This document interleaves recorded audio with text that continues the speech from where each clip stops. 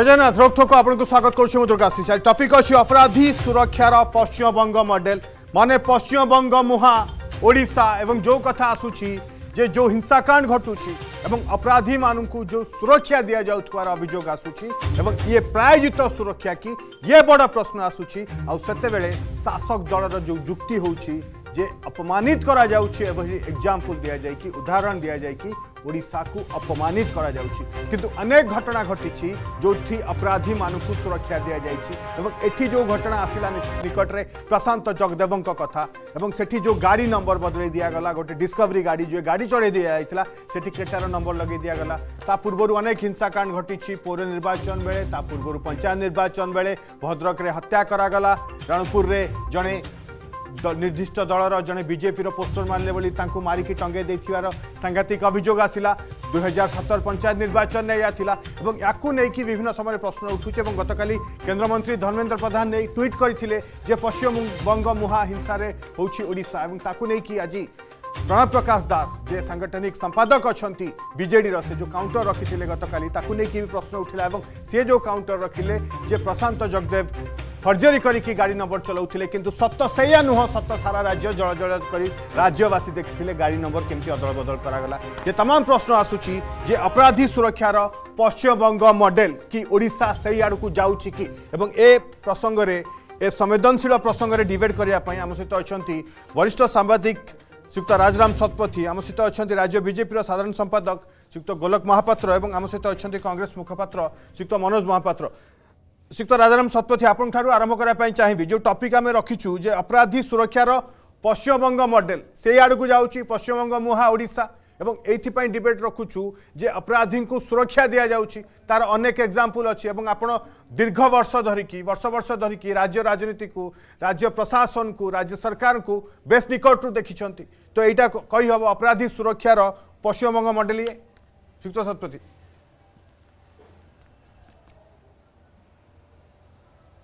ହଁ ଆପଣ ଯାହା କହୁଛନ୍ତି ଠିକ୍ କଥା। ଯେ ଓଡ଼ିଶାରେ ଯେଉଁ ପ୍ରକାର ଅପରାଧ ଅପରାଧ ସବୁ ଘଟି ଚାଲିଛି ଏଥିରୁ ଜଣାପଡ଼ୁଛି ଯେମିତି ଓଡ଼ିଶା ତୀବ୍ର ଗତିରେ ଅତି ଜୋରରେ ପଶ୍ଚିମବଙ୍ଗର ସମକକ୍ଷ ହେବା ପାଇଁ ଦୌଡ଼ୁଛି। ଏକଥା ସତ ଯେ ପଶ୍ଚିମବଙ୍ଗରେ ଯେଉଁଭଳି ଭାବରେ ରାଜନୈତିକ ହିଂସାକାଣ୍ଡ ଆମେ ଦେଖିଲେ ଏଇ ଗତ ବିଧାନସଭା ନିର୍ବାଚନ ପରେ ପରେ ଏବଂ ନିକଟରେ ବୀରଭୂମରେ ଯେଉଁ ଲୋମହର୍ଷଣକାରୀ ବିଭତ୍ସ କାଣ୍ଡ ଘଟିଛି। ଯେ ଲୋକେ ଘରେ ଶୋଇଥିଲା ବେଳେ ଗୋଟେ ପରିବାରର ସାତ ଆଠ ଜଣକୁ ଘର ବାହାରୁ କବାଟ ଦେଇକି ନିଆଁ ଲଗାଇଦେଲେ। ମାନେ ସେ ଜଳିପୋଡ଼ି ପୁରା ଛୋଟ ପିଲା ବି ତା ଦେହରେ ଥିଲେ। ଏ ଯେଉଁ ପ୍ରକାର ନାରକୀୟ କାଣ୍ଡ ପଶ୍ଚିମବଙ୍ଗରେ ହେଉଛି ତାର ତ ଉଦାହରଣ ଭାରତର ରାଜନୈତିକ ଇତିହାସରେ ସ୍ୱାଧୀନତା ପରେ ବି କେଉଁଠି ନଥିବ। ଆମେ ଆଗରୁ ବିହାରରେ ଅନେକ ହିଂସାକାଣ୍ଡ ଦେଖିଛେ ଶୁଣିଛେ ଓ ପଶ୍ଚିମ ଉତ୍ତରପ୍ରଦେଶରେ ମଧ୍ୟ ଦେଖିଛେ କିନ୍ତୁ ପଶ୍ଚିମବଙ୍ଗ ସମସ୍ତଙ୍କୁ ଟପି ଯାଇଛି। ଏକ ଦ୍ୱିତୀୟ କଥା ହେଲା ଆମ ଓଡ଼ିଶା କଥା ଆପଣ ଆସନ୍ତୁ ଦେଖିବା ପାଇଁ। ଯାହା କିଛି ସମୟ ଆଗରୁ ଆପଣ କହୁଥିଲେ ଯେ ଓଡ଼ିଶା ଯେମିତି ପଶ୍ଚିମବଙ୍ଗର ସମକକ୍ଷ ହେବା ପାଇଁ ଦ୍ରୁତ ଗତିରେ ଅଗ୍ରସର ହେଉଛି। ଏକଥା ସତ। କାହିଁକିନା ଓଡ଼ିଶାରେ ଆପଣ ଦେଖନ୍ତୁ ଆଇନ ଶୃଙ୍ଖଳା ସମ୍ଭାଳିବା ହେଉଛି ରାଜ୍ୟ ସରକାରଙ୍କର କାର୍ଯ୍ୟ। ଏବଂ ଯଦି କୌଣସି ଜାଗାରେ କିଛି ହିଂସାକାଣ୍ଡ ଘଟେ କିଛି ଅପରାଧ ଘଟେ ଆପଣ ରାଜ୍ୟ ସରକାର ବା ରାଜ୍ୟ ପୋଲିସ ଯେଉଁ ପ୍ରକାର କାର୍ଯ୍ୟାନୁଷ୍ଠାନ କରିବେ ସେଇଟା ଗୋଟେ ସାଧାରଣ ଲୋକଙ୍କ ଭିତରେ ବିଶ୍ୱାସ ଜନ୍ମିବା ଦରକାର।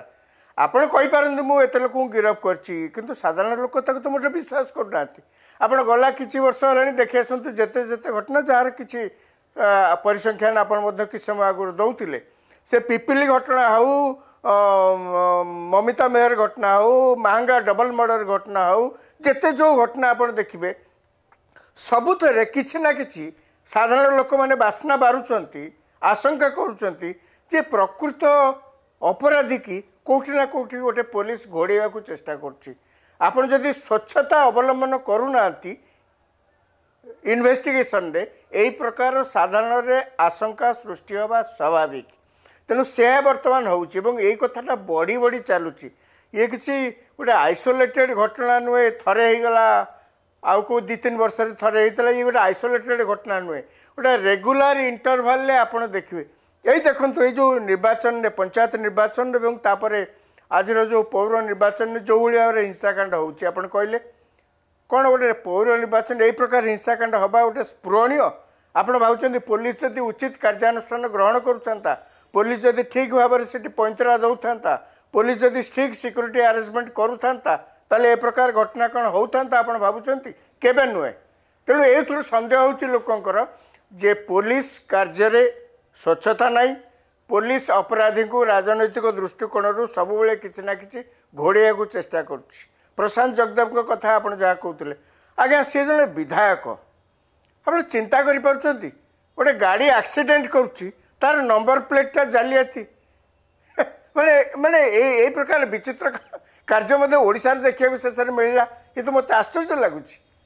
ଓଡ଼ିଶା ୟାକୁ ଯଦି କିଏ ଯଦି କହେ ଯେ ଓଡ଼ିଶା ପଶ୍ଚିମବଙ୍ଗର ସମକକ୍ଷ ହେବା ପାଇଁ ଅଗ୍ରସର ହେଉଛି କିଛି ତ ଭୁଲ କଥା କହିନି ଓକେ କିଛି ତ ଭୁଲ ନାହିଁ ଏବଂ ଯେଉଁ କଥା ଆପଣ କହୁଛନ୍ତି ଯେ ସୁରକ୍ଷା ଦିଆଯାଉଛି ଏବଂ ଯେ ତ ଜଳ ଜଳ କରିକି ଦେଖାଯାଉଛି ଶ୍ରୀଯୁକ୍ତ ଗୋଲବ ମହାପାତ୍ର ଅଛନ୍ତି ଆମ ସହିତ ବିଜେପି ରାଜ୍ୟ ସାଧାରଣ ସମ୍ପାଦକ ଶ୍ରୀଯୁକ୍ତ ମହାପାତ୍ର ଯେଉଁ କଥା କାଲି କେନ୍ଦ୍ରମନ୍ତ୍ରୀ ଧର୍ମେନ୍ଦ୍ର ପ୍ରଧାନ ଟ୍ୱିଟ୍ କରିକି କହିଲେ ଯେ ପଶ୍ଚିମବଙ୍ଗ ମୁହାଁ ହେଲାଣି ଏବଂ ପ୍ରଶାନ୍ତ ଜଗଦେବଙ୍କ କଥା କୁହାଗଲା ଅପରାଧୀଙ୍କ ସୁରକ୍ଷାରେ ପୁଲିସ କଥା କୁହାଗଲା ବବି ଦାସ ଯିଏ ଅଛନ୍ତି ପ୍ରଣବପ୍ରକାଶ ଦାସ ସେ କହୁଛନ୍ତି ଯେ ଅନ୍ୟ ରାଜ୍ୟ ସହିତ ତୁଳନା କରିକି ଇଏ ନିନ୍ଦା ଇଏ ଅପମାନ ଓଡ଼ିଶାକୁ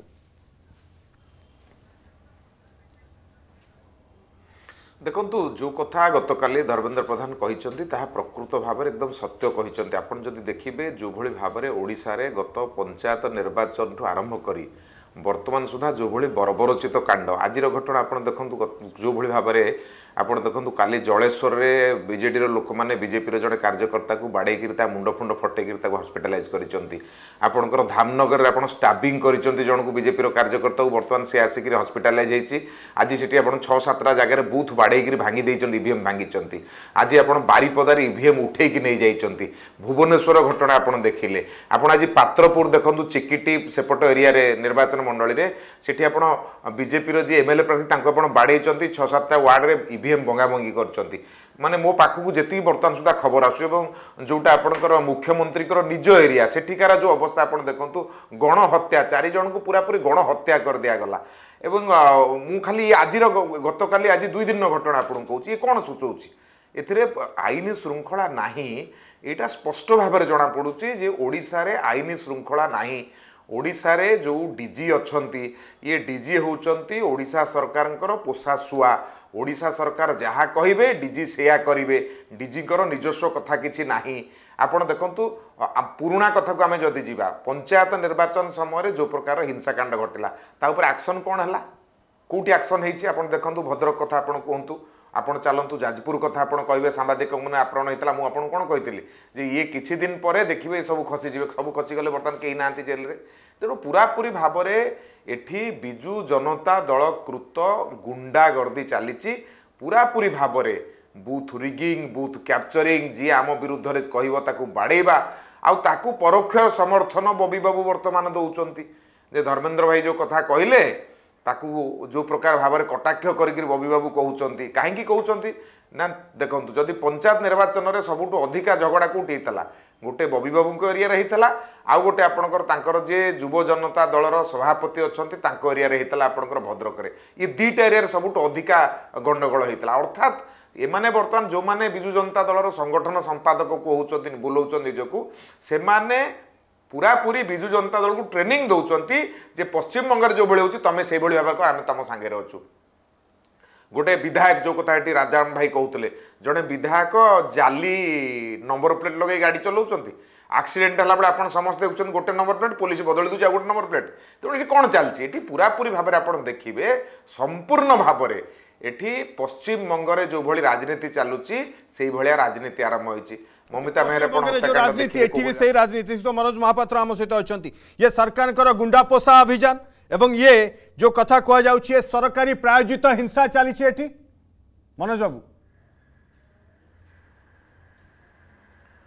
ନାଇଁ ନାଇଁ ହିଂସା ତ ଚାଲିଛି। ଆମେ ଦେଖୁ ଯାହା କେବେ ଦେଖିନଥିଲେ ପଞ୍ଚାୟତ ନିର୍ବାଚନ ପୂର୍ବରୁ ଦେଖିଲେ ପଞ୍ଚାୟତ ନିର୍ବାଚନ ସମୟରେ ଦେଖିଲେ ପଞ୍ଚାୟତ ନିର୍ବାଚନ ପରବର୍ତ୍ତୀ ମୁହୂର୍ତ୍ତରେ ଦେଖିଲେ ଏବଂ ଏବେ ଯେଉଁ ଆଜି ପୌର ନିର୍ବାଚନ ଚାଲିଛି ହିଂସା ରିପିଟେଡଲି ଓଡ଼ିଶାରେ ଚାଲିଛି ଯେଉଁଟାକି ଏତେ ହିଂସା ଲୋକ- ଓଡ଼ିଶାରେ ହେଉନଥିଲା।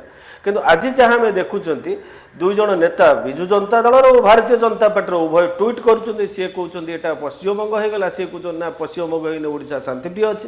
ମୁଁ ତ କହିବି କେବେ ଓଡ଼ିଶା ପଶ୍ଚିମବଙ୍ଗ ହେଇନାହିଁ? ପଶ୍ଚିମବଙ୍ଗରେ ଦୁଇ ଦିନ ତଳେ ଜଣେ ଟିଏମ୍ସିର ୱାର୍କରକୁ ମାରି ଦିଆଗଲା ସେ ଦଶ ଜଣଙ୍କୁ ପୋଡ଼ି ଦିଆଗଲା। କିନ୍ତୁ ଓଡ଼ିଶାରେ ଗତକାଲି କ'ଣ ହେଇଛି? ଗୋଟିଏ ଛୋଟ କମେଣ୍ଟଟାରୁ ଚାରି ଚାରି ଜଣଙ୍କୁ ମାରି ଦିଆଗଲା। ଇଏ ତ ହେଉଛି ଓଡ଼ିଶା ସିଏ ତ ହେଉଛି ପଶ୍ଚିମବଙ୍ଗ। ଏବଂ ଓଭରଅଲ୍ ଆପଣ ତ ଲ ଅର୍ଡର ସିଚୁଏସନ୍ କଥା କହୁଛନ୍ତି ଆଇନ ଶୃଙ୍ଖଳା କଥାରେ କ'ଣ ଅଛି ଓଡ଼ିଶାର ସ୍ଥିତି ବର୍ତ୍ତମାନ ସମଗ୍ର ଭାରତ ବର୍ଷରେ? ଉତ୍ତରପ୍ରଦେଶ ଓ ଓଡ଼ିଶା ଛୋଟ ପିଲାଙ୍କ କ୍ରାଇମ୍ କଥା କୁହନ୍ତୁ ମହିଳାମାନଙ୍କ ହିଂସା କଥା କୁହନ୍ତୁ ଅପହରଣ କଥା କୁହନ୍ତୁ ମର୍ଡର କଥା କୁହନ୍ତୁ ସମଗ୍ର ଭାରତ ବର୍ଷରେ ତ ଉତ୍ତରପ୍ରଦେଶ ଓଡ଼ିଶା ନମ୍ବର ୱାନ୍ରେ ଅଛି। ଇଏ ତ ବର୍ତ୍ତମାନ ଓଡ଼ିଶାର ସାର୍ଟିଫିକେଟ୍ କିନ୍ତୁ ଏଭଳି ଅବସ୍ଥାରେ ଅନ୍ୟ କେସ୍ରେ ମୁଁ କହିବି ପଶ୍ଚିମବଙ୍ଗରେ କ'ଣ ହେଇଛି? ପଶ୍ଚିମବଙ୍ଗରେ ପଶ୍ଚିମବଙ୍ଗ ସିବିଆଇ ରିପିଟେଡଲି ଚୋର ଚୋଠାମାନଙ୍କୁ ନେଇକି ଧରିକି ଜେଲରେ ଭର୍ତ୍ତି କରିଛି। সে চিটফন্ডে হোক, সে কইলারে হোক, সে মাইনিংরে হোক। কিন্তু এটি আপনার দেখবে, ওড়শা সিবিআই, যে চিটফন্ড লুটেরা, যে মাইনিং লুটেরা, কি অন্য সব কইলা লুটু আরম্ভ করে সবুথে সবু কেণকারে যে ভর্তি করা হয়েছে, না যে সশিষ্ট অনেক সেই মানুষ সুরক্ষা দিয়েছে ওড়শা সিবিআই। তাহলে আমি পশ্চিমবঙ্গ সহ আমি কমিটি আমি কইপার ওড়শা ঠিক অছে হ্যাঁ এইটা সত আউ গোটে কথা হচ্ছে গাড়ি ଆପଣ ଦେଖୁଛନ୍ତି ଏବେ ଗୋଟେ ଦେଶରେ ନୂଆ ଆଇନ ବ୍ୟବସ୍ଥା ଯେମିତି ତିଆରି ହେଇଛି ଜଣାପଡ଼ୁଛି ଜଣେ ବିଧାୟକ ଦିନ ଦି ପରେ ଗାଡ଼ି ନେଇକି ମାରିଲେ ଯେ ଗାଡ଼ି ଦ୍ୟାଟ୍ ଟୁ କୋଟିକିଆ ଗାଡ଼ି। ଆଶ୍ଚର୍ଯ୍ୟ ହେବେ ଆପଣ ଦେଖିବେ କିଛି ଦିନ ହେବ ଲାଷ୍ଟ ଆଠ ଦଶ ବର୍ଷ ଧରିକି ଶହେରୁ ଉର୍ଦ୍ଧ୍ୱ ବିଧାୟକ ସିନା ମୁଖ୍ୟମନ୍ତ୍ରୀ ଚଢ଼ୁଛନ୍ତି ଛୋଟ ଗାଡ଼ି ସିଏ କହୁଛନ୍ତି ନମ୍ରତାର ସହିତ ରୁହନ୍ତୁ ଶାଳୀନତାର ସହିତ ରୁହନ୍ତୁ କେମିତି ବ୍ୟବହାର କରିବା ଏବଂ ତାଙ୍କର ଆଚରଣ ଉଚ୍ଚାରଣ ଯାହା କହୁଛନ୍ତି ତାଙ୍କ ବିଧାୟକମାନେ ସମ୍ପୂର୍ଣ୍ଣ ଓଲଟା କରୁଛନ୍ତି କେହି କୋଟିକରୁ କମ୍ ତଳେ ଗାଡ଼ି ଚଲୁନାହାନ୍ତି କିମ୍ବା ଓଏସ୍ କରିବାରେ ହେଳା କରୁନାହାନ୍ତି ସେଇ ବିଧାୟକ ଯେତେବେଳେ ଦିନ ଦି ପରେ ନେଇକି ଲୋକଙ୍କ ଉପରେ ଗାଡ଼ି ଚଢ଼ଉଛି ଯେଉଁ ପରିସ୍ଥିତି ଆସୁନା କାହିଁକି ଏବଂ ସିଏ ଆଉ କିଛି ଦିନ ପରେ ଦେଖିବେ ଓଡ଼ିଶା ପୋଲିସ ତାକୁ ଛଅ ମାସରେ ଆଣିକି ବା- ବାହାରେ ବେଲ୍ ବେଲ୍ରେ ଆସିବେ ସିଏ ଶୀତ ବାହାରେ ଗୋଲକ ବୁଲିବେ। ମହାପାତ୍ର ଶୀତ ମନୋଜ ମହାପାତ୍ର ଯୋଉ କଥା କହୁଛନ୍ତି ଯେ ସିବିଆଇ ବି ପୁଲିସ ଭଳିଆ କାମ କରୁଛି ସିବିଆଇ ବି ପୁଲିସ ଇନଷ୍ଟ୍ରକ୍ସନରେ କାମ କରୁଛି ଏ ଅଭିଯୋଗ ଆଣୁଛନ୍ତି ମନୋଜ ବାବୁ ଦେଖନ୍ତୁ ମନୋଜ ବାବୁ ଏଥିପାଇଁ ଏକଥା କହୁଛନ୍ତି ଯେତେବେଳେ କଂଗ୍ରେସ ଦଳ ଭାରତବର୍ଷରେ ଶାସନରେ ଥିଲା ସେତେବେଳେ ସେ ସିବିଆଇକୁ ତାର ନିଜସ୍ୱ କାମରେ ବ୍ୟବହାର କରୁଥିଲା। କିନ୍ତୁ ସମୟର ପରିବର୍ତ୍ତନ ହେଇଛି ହେଉଛି ମୋଦିଙ୍କ ସରକାର। ମୋଦି ସରକାରଙ୍କ ସମୟରେ ସିବିଆଇ ଗୋଟେ ଇଣ୍ଡିପେଣ୍ଡେଣ୍ଟ ବଡି ହିସାବରେ କାମ କରୁଛି ସେ କୋଉଠି କାହା କଥାରେ କାମ କରେ ନାହିଁ। ତେଣୁ ଯେହେତୁ ସେ ତାଙ୍କ ସମୟର କଥା ମନେ ପକେଇକି ତାକୁ ଯୋଡୁଛନ୍ତି ସେ ଯୋଡି ପାରନ୍ତି କିନ୍ତୁ ଏହାର ସତ୍ୟତା କିଛି ନାହିଁ। ଏଠି କଥା ହଉଛି যে যেভাবে ভাবে ওকে ইয়ার সত্যতা মু আসিবি শ্রীযুক্ত গৌরব মহাপাত্র মু আসিবি আপনার পাখু শ্রীযুক্ত রাজারাম সতপথী আমার সহ অনেক শ্রীযুক্ত সতপথী যেতবে হিংসা কথা আসুচি সেতবে বিজেডি শাসক দলর যে নেতা বিধায়ক মন্ত্রী হুঁতু সে কুহতি যে এটি শান্তিপ্রিয় আপনার কম্পেয়ার করি এটি নিন্দনীয় এবং ববি দাস বি কথা কৌন যে পুলিশ সবু ক্ষেত্রে কার্যানুষ্ঠান নৌছি অপরাধী যদি দণ্ড পাচ্ছেন তাহলে কনভিকশন রেট মাত্র টুয়েলভ পরসেন্ট কাহি মহিলা ক্ষেত্রে কাহি ন দশমিক দুই প্রত শ্রীযুক্ত রাজারাম সতপথী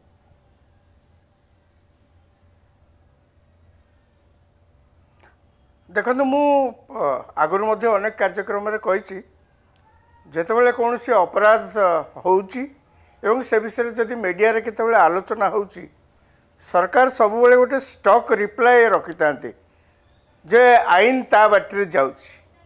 ଆଇନ ସତରେ ତା ବାଟରେ ଯାଉଛି କି ବାଟରେ ବାଟ ବଣା ହେଇକିରି ଆଉ କୁଆଡ଼େ ଯାଉଛି ତାକୁ ତ ଆଉ କେହି ପୁଣି ଥରେ ପଛକୁ ଓଲଟିକିରି ଦେଖୁନାହାନ୍ତି। ଏବଂ ଦୀର୍ଘଦିନ ସରକାର ରହିଲା ପରେ ବର୍ତ୍ତମାନ ପରିସ୍ଥିତି ଏଭଳି ଅଣାୟତ୍ତ ହୋଇପଡ଼ିଛି। ଯେ ଆଉ ଆଇନ ତା ବାଟରେ ଯାଉନି ଆଇନ ମୋଟେ ଯିବାକୁ ହିଁ ନାରାଜ। କାହିଁକିନା ଆଇନକୁ ମୂଳରୁ ଅଟକେଇ ଦିଆଯାଉଛି। ଯଦି ପ୍ରକୃତରେ ଆଇନ ତା ବାଟରେ ଯାଉଥାନ୍ତା ଏବଂ ସରକାର ପ୍ରକୃତରେ କାର୍ଯ୍ୟାନୁଷ୍ଠାନ ଗ୍ରହଣ କରୁଥାନ୍ତେ ଦୋଷୀଙ୍କ ବିରୁଦ୍ଧରେ ତାହେଲେ ଆପଣ ଆଜି ଏ ପ୍ରକାର ଅବସ୍ଥା କେବେ ଦେଖିବାକୁ ପାଉନଥାନ୍ତେ। ଏଇଠି ମୁଁ ଉତ୍ତରପ୍ରଦେଶର ଉଦାହରଣ ଦେଉଥିଲେ ଦେଖନ୍ତୁ ଉତ୍ତରପ୍ରଦେଶ ହେଉଛି ପଚିଶ କୋଟି ଲୋକଙ୍କ ରାଜ୍ୟ। ଓଡ଼ିଶାରେ ଏତେ ଲୋକ ସଂଖ୍ୟା ନୁହନ୍ତି ଓଡ଼ିଶାରେ ସାଢ଼େ ଚାରି କୋଟି ଲୋକ ସଂଖ୍ୟା ଖୁବ୍ ହେଲେ ହେବେ ତେଣୁ ଉତ୍ତରପ୍ରଦେଶରେ ଯେଉଁଠି ପଚିଶ କୋଟି ଲୋକ ଜନସଂଖ୍ୟା ବିଶିଷ୍ଟ ଗୋଟେ ରାଜ୍ୟରେ ସେଇ ଅନୁପାତରେ ଅପରାଧ ସଂଖ୍ୟା ମଧ୍ୟ ଅଧିକ ହେବ ଏବଂ ଖାଲି ସେତିକି ନୁହନ୍ତି। ଉତ୍ତରପ୍ରଦେଶର ବର୍ତ୍ତମାନ ଯେ ମୁଖ୍ୟମନ୍ତ୍ରୀ ଥିଲେ ଯୋଗୀ ଆଦିତ୍ୟନାଥ ପୁଣି ମୁଖ୍ୟମନ୍ତ୍ରୀ ସେ ପଚିଶ ତାରିଖ ଦିନ ଶପଥ ନେବେ। ଆପଣଙ୍କର ମନେ ଥିବ ସେ ଯେତେବେଳେ ଆସିଲେ ପ୍ରଥମେ ମୁଖ୍ୟମନ୍ତ୍ରୀ ହେଇକିରି ସାରା ଉତ୍ତରପ୍ରଦେଶରେ ଏଇ ମାଫିଆମାନଙ୍କୁ ଦମନ କରିବା ପାଇଁ ସେ କି କି ପ୍ରକାର କଡ଼ା ପଦକ୍ଷେପ ନେଇଥିଲେ। ଏବଂ ଆପଣ ଏଇ ନିର୍ବାଚନରେ ଯୋଗୀଙ୍କର ବା ବିଜେପିର ଯେଉଁ ବିଜୟ ହେଇଛି ସେଥିରେ ତାର କାରଣ ଯେତେବେଳେ ମିଡ଼ିଆରେ ଆଲୋଚନା ହେଉଛି ଆପଣ ଶୁଣିଥିବେ ନିଶ୍ଚୟ ଦେଖିଥିବେ ନିଶ୍ଚୟ କ'ଣ କୁହାଯାଉଛି? ଯେ ଆଇନ ଶୃଙ୍ଖଳା ପରିସ୍ଥିତିକୁ କଠୋର ଭାବରେ ସେ ନିୟନ୍ତ୍ରଣ କରିଥିବାରୁ ଝିଅ ବୋହୂମାନଙ୍କର ସୁରକ୍ଷା ଦେଇଥିବାରୁ ସେଇଥିପାଇଁ ଲୋକେ ପୁଣି ପସନ୍ଦ କରି ତାଙ୍କୁ କ୍ଷମତାକୁ ଫେରେଇ ଆଣିଛନ୍ତି। ପ୍ରଥମ କାରଣ ଏହା ଦିଆଯାଉଛି। ଓଡ଼ିଶା କଥା ଆପଣ ଦେଖନ୍ତୁ।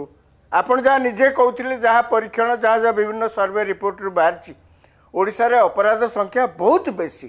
ସାଢ଼େ ଚାରି କୋଟି ଜନସଂଖ୍ୟା ବିଶିଷ୍ଟ ରାଜ୍ୟରେ ଯଦି ଅପରାଧ ସଂଖ୍ୟା ଏତେ ଅଧିକ ନାରୀ ନିର୍ଯାତନା କଥା କୁହନ୍ତୁ ଅନ୍ୟାନ୍ୟ ଅପରାଧ କଥା କୁହନ୍ତୁ ଯଦି ଏତେ ଅଧିକ ତାହେଲେ ଏ ରାଜ୍ୟରେ ଆଇନ ଶୃଙ୍ଖଳା ପରିସ୍ଥିତି ଠିକ୍ ଭାବରେ ଚାଲିଛି ବୋଲି କ'ଣ ଆପଣ ଚେଷ୍ଟା କଲେ ବି କହିପାରିବେ?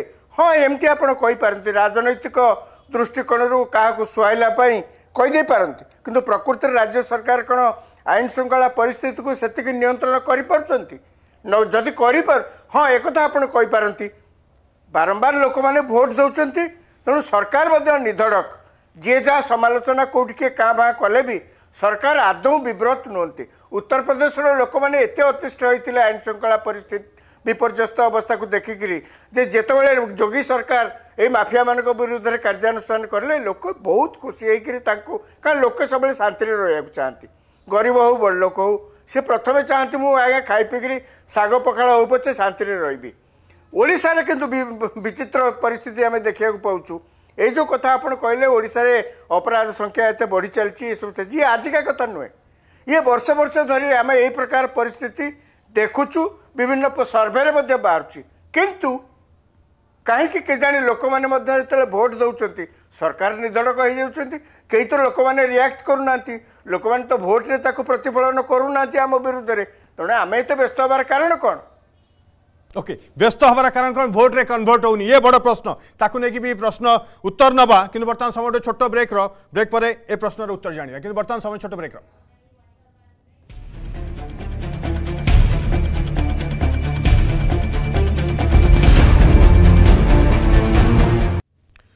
ब्रेक पर लोकठक आपत स्वागत कर दुर्गा श्री टफिक अच्छी अपराधी सुरक्षार पश्चिम बंग मडल श्रीयुक्त गोलक महापात्र जो कथ श्रीयुक्त राजाराम शतपथी कहते जो अहंकार रोचे भोट पाँच पाने एत हिंसा घटू सब तथ्य सामना को आसूरी एनसीआरबी रिपोर्ट आसूरी दंडविधान हार कम अपराधी सुरक्षा दि जाऊँगी किंतु भोट्रे कहीं कनभर्ट हो पार नहीं लोकों पाखे पहुँचवे विरोधी विफल होती से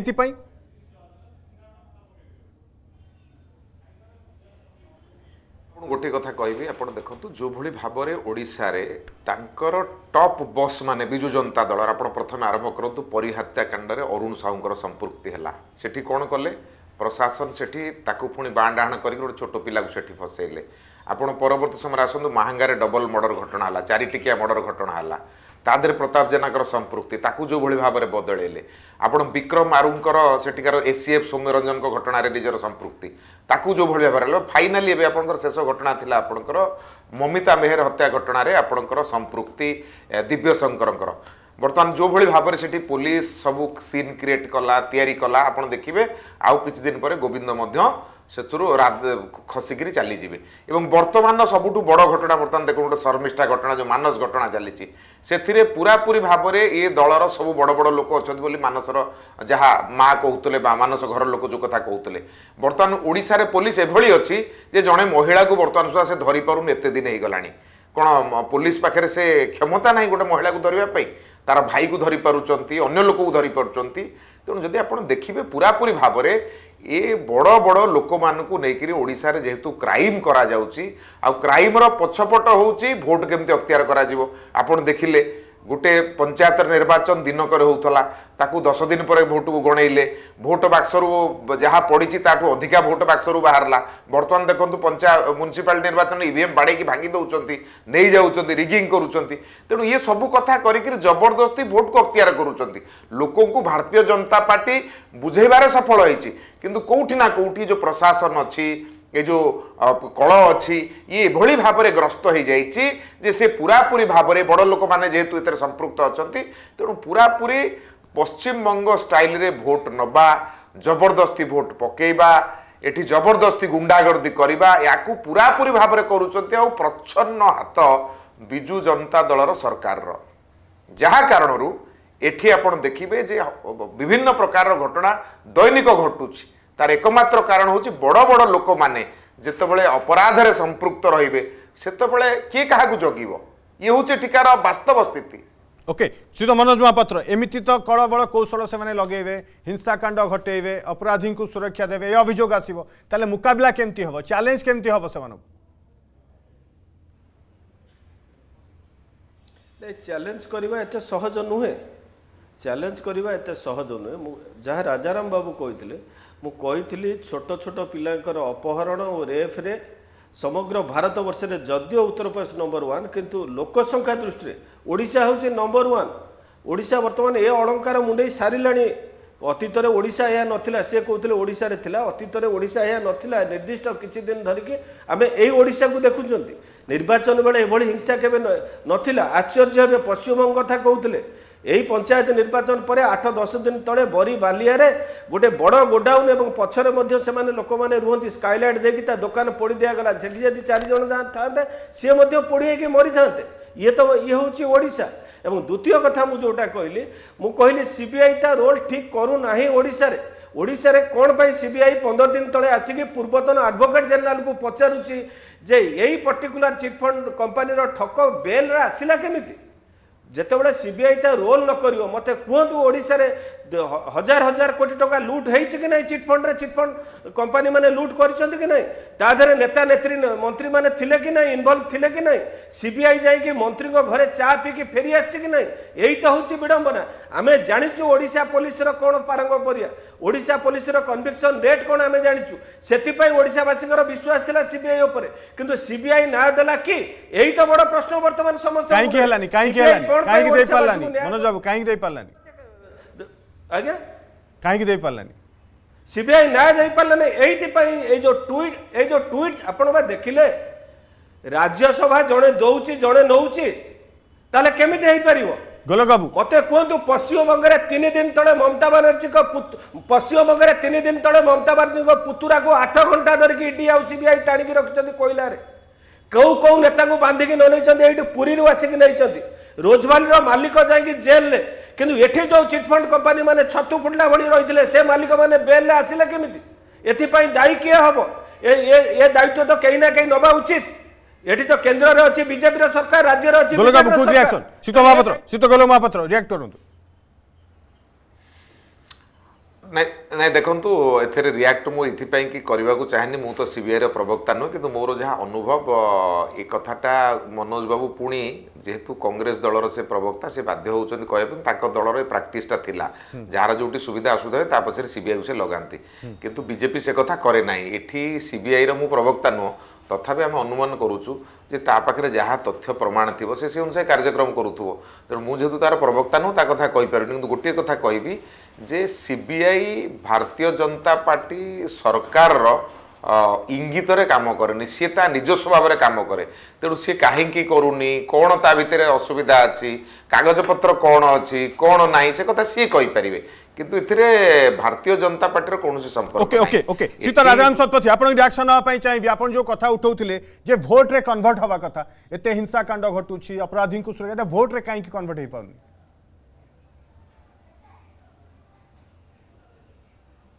ଭୋଟରେ କନଭର୍ଟ ନ ହେବାର ମୁଖ୍ୟ କାରଣ ହେଉଛି କୌଣସି ଗଣତାନ୍ତ୍ରିକ ବ୍ୟବସ୍ଥାରେ କୌଣସି ସମାଜରେ ଯେତେବେଳେ ଜନସଚେତନତା ସୃଷ୍ଟି ହୁଏ ସେତେବେଳେ ଲୋକମାନେ ପରିବର୍ତ୍ତନ କଥା ଚିନ୍ତା କରନ୍ତି। କାରଣ ଇଏ ହେଉଛି ଗଣତନ୍ତ୍ରର ମୂଲ୍ୟବୋଧ। ଗଣତନ୍ତ୍ରର ନିୟମ ହେଉଛି ଗଣତାନ୍ତ୍ରିକ ବ୍ୟବସ୍ଥାର ଶାସନ ପଦ୍ଧତିର ନିୟମ ହେଉଛି ଆପଣ ଯେତେ ପରିବର୍ତ୍ତନକୁ ଆପଣେଇବେ ଆପଣଙ୍କର ଡେଭଲପମେଣ୍ଟ ସେତେ ଅଧିକା ହେବ। ଆପଣ ଯେତେବେଳେ ପରିବର୍ତ୍ତନକୁ ଆପଣେଇବେ ନାହିଁ ଆପଣ ଯେଉଁଠି ଥିଲେ ସେଇଠି ବରଂ ତଳୁ ତଳକୁ ଯିବେ। ଓଡ଼ିଶାର ଅବସ୍ଥା ଠିକ୍ ସେୟା ହେଇଛି ଏବଂ ଗଣତାନ୍ତ୍ରିକ ବ୍ୟବସ୍ଥାରେ ଲୋକଙ୍କୁ ପରିବର୍ତ୍ତନର ଆବଶ୍ୟକତା ବୁଝାଇବା ପାଇଁ ଯେଉଁ ଯେଉଁ ସବୁ ସଂସ୍ଥା କାର୍ଯ୍ୟ କରନ୍ତି ମିଡ଼ିଆ ମାନେ ସିଭିଲ୍ ସୋସାଇଟି ମିଡ଼ିଆ ବି ଗୋଟେ ପ୍ରକାର ସିଭିଲ୍ ସୋସାଇଟି ପ୍ରେସର ଗ୍ରୁପ୍ ଏବଂ ଅନ୍ୟାନ୍ୟ ଯେଉଁ ସିଭିଲ୍ ସୋସାଇଟି ମାନେ ଥାଆନ୍ତି ୟାଙ୍କର ସବୁଠୁ ବଡ଼ ଭୂମିକା ଥାଏ ଏବଂ ବିରୋଧୀ ଦଳ। ବିରୋଧୀ ଦଳ ସିଭିଲ୍ ସୋସାଇଟି ଏବଂ ମିଡ଼ିଆ ଏଇ ତିନିଟି ଯେଉଁ ବେସରକାରୀ ସଂସ୍ଥା ଥାଏ ଏମାନଙ୍କର ପ୍ରମୁଖ କାମ ହେଉଛି ଲୋକମାନଙ୍କ ଭିତରେ ଜନସଚେତନତା ସୃଷ୍ଟି କରି ସେମାନଙ୍କୁ ପରିବର୍ତ୍ତନର ଆବଶ୍ୟକତା ବୁଝେଇବା। ଅର୍ଥାତ୍ ସରକାରରେ କ'ଣ ଭୁଲ ଭଟକା ରହୁଛି ଯାହା ଆପଣ ଆପଣ ଏଇନା କିଛି ସମୟ ଆଗରୁ ଆଲୋଚନା କରୁଥିଲେ। ଆଇନ ଶୃଙ୍ଖଳା ପରିସ୍ଥିତି ହେଉ ବା ଚିଟ୍ ଫଣ୍ଡ କଥା ହେଉ ଏ ସବୁ କଥା ଲୋକଙ୍କ ପାଖରେ ପହଞ୍ଚେଇଲେ ହେବ କ'ଣ କି ଲୋକ ସଚେତନ ହେବେ। ଏବଂ ଲୋକ ସଚେତନ ହେଲେ ସେତେବେଳେ ସେମାନେ ପରିବର୍ତ୍ତନ ମୁହାଁ ହେବେ। ଏବଂ ପରିବର୍ତ୍ତନ ହେଲେ ହିଁ ତାପରେ ଆପଣ ଦେଖିବେ ଡେଭଲପମେଣ୍ଟ ସମ୍ଭବ ହେବ। ଏ ପର୍ଯ୍ୟନ୍ତ ଲୋକଙ୍କ ପାଖରେ ଏଇ ଯେଉଁ ଚ୍ୟାନେଲ ଜରିଆରେ ସଚେତନତା ହେବା କଥା ଲୋକଙ୍କର ସିଭିଲ ସୋସାଇଟି ଓଡ଼ିଶାରେ ନାହିଁ କହିଲେ ଚଳେ। ମିଡ଼ିଆ ଚୁପ୍ ବିରୋଧୀ ଦଳ କ୍ଷୀଣ ସ୍ୱର ୟା ଭିତରେ ଆପଣ ଯଦି ଆଶା କରିବେ ଲୋକେ କାହିଁକି ସଚେତନ ହେଉନାହାନ୍ତି ଲୋକେ କାହିଁକି ପରିବର୍ତ୍ତନ ମୁହାଁ ହେଉନାହାନ୍ତି ତାର କିଛି ଉତ୍ତର ନାହିଁ। ତେଣୁ ବିରୋଧୀ ଦଳକୁ ନିଜ କାର୍ଯ୍ୟ ଉପରେ ସମୀକ୍ଷା କରିବା ଉଚିତ। ସେମାନେ ଦେଖିବା ଉଚିତ ଆଲୋଚନା କରିବା ଉଚିତ ନିଜ ଭିତରେ ଯେ ଓକେ ଓକେ ସମୀକ୍ଷା କରିବାର ଆବଶ୍ୟକତା ରହିଛି ଯେଉଁ ସଚେତନ ହେବା କଥା ସେଇଟା ପହଞ୍ଚି ପାରୁନି। ବହୁତ ବହୁତ ଧନ୍ୟବାଦ ଶ୍ରୀତ ରାଜରାମ ଶତପଥୀ ଶ୍ରୀତ ଗୋଲକ ମହାପାତ୍ର ଏବଂ ଶ୍ରୀତ ମନୋଜ ମହାପାତ୍ର। ଯେଉଁ କଥା ଆସୁଛି ଯେ ଅପରାଧୀ ସୁରକ୍ଷାର ପଶ୍ଚିମବଙ୍ଗ ମଡେଲ ଏବଂ ପୁଲିସ ଅପରାଧୀଙ୍କୁ ସୁରକ୍ଷା ଦେଉଛି କାହା ଇଙ୍ଗିତରେ ଯେତେବେଳେ ଶାସକ ଦଳର ନେତାମନ୍ତ୍ରୀ ବିଧାୟକଙ୍କ ସମ୍ପୃକ୍ତି ଆସୁଛି ସାଂସଦଙ୍କ ସମ୍ପୃକ୍ତି ଅଭିଯୋଗ ଆସୁଛି ସେତେବେଳେ ସୁରକ୍ଷା ଦିଆଯାଉଛି ଏ ଅଭିଯୋଗ ଆସୁଛି ଏବଂ ସେତେବେଳେ ଶାସକ ଦଳର ଉତ୍ତର ହେଉଛି ଯେ ରାଜ୍ୟକୁ ବଦନାମ କରାଯାଉଛି ଇଏ ପ୍ରାୟୋଜିତ ହିଂସା ନୁହଁ কিন্তু লোক দেখুছেন এবং যে ঘটনা আসিছে প্রশান্ত জগদেবঙ্কর সেটি জলজল হয়েকি দিশুছি যে কিভাবে অপরাধী সুরক্ষা দেউছি পুলিশ সমস্যা সহুছি রোকটোকেট রাখুছি যোজনা